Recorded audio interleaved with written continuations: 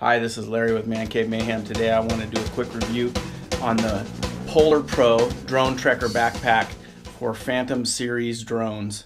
So stand by and we're going to get to reviewing. So if you are a backpacker or have done any type of backpacking or actually just handled a backpacking backpack, a really good quality one, when you pick this one up, you're going to say, man, this thing's heavy because it it does have some girth and weight to it. But once you put it on and you have your drone in it and all your gear, it actually is very easy to use and comfortable to hike with. I, I did about a five mile hike, six mile hike with it and didn't have any problems at all. It was very comfortable and I actually carried a tripod which fits on the back here. Clips onto the back and there's a pouch that pulls out right here. You can see that and the tripod fits in there. So you can actually carry a, a, full tripod on the back of that. this is actually where you keep your, you can keep your, like I keep my prop guards in here. I also keep uh, other things like uh, you can keep your tablet and stuff in that, in that top part of the backpack. And then when you go to flip it over, on this side of the backpack is where you actually access the drone. So as you open this up, this pops open. You can keep your props. I keep all my pro extra props here in this little handy pouch. You open this back and this is where the drone sits and you can configure it however you like it. I kind of just threw it together like the way it's sitting here. But uh, it's also got a nice pouch to keep all your other goodies in. Um, I've got all kinds of accessories. It does come with motor covers. Uh, I didn't need them because I had bought some prior to that, but it did come with a pack of motor covers which seemed to be fairly good quality.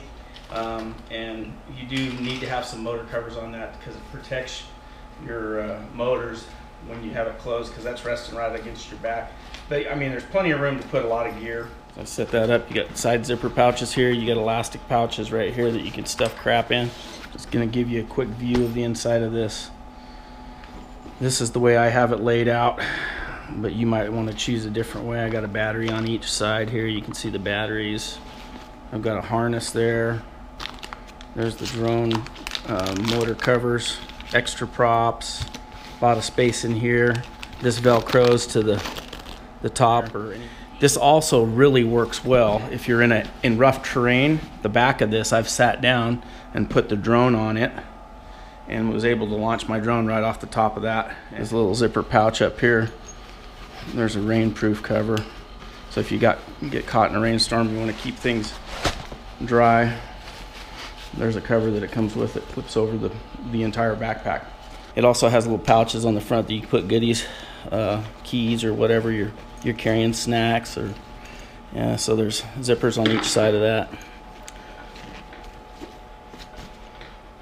But overall, I've been real happy with it. Haven't had any problems with the backpack itself. It's got super, super nice padding, padded shoulder straps. It's got a, a chest strap and, you know, obviously the waist strap too. It's also got a security lock, I guess, for when if you take it on the airplane or whatever. Um, and and that, that comes in handy. And it's got the TSA uh, key lock, so if they need to get into it to check it. Polar Pro Phantom Series backpack.